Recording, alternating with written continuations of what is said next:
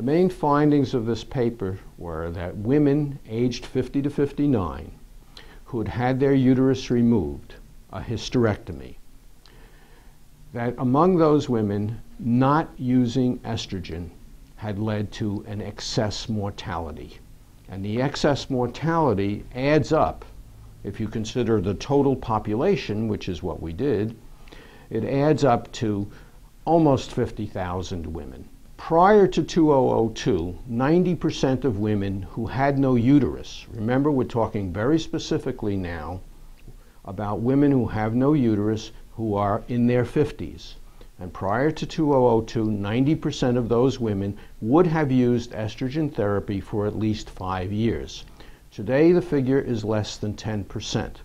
Knowing about that decline in the use of estrogen allowed us to make several different calculations using all of the assumptions. The, the best point estimates are between 42,200 and 48,800 women have died in the last 10 years between 2002 to 11. None of those women lived to be 70 years old.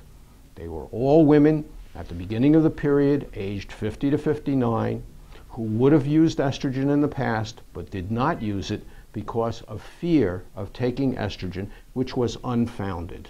In the past, 90% of those women would have been using estrogen replacement, and today the percent is less than 10%.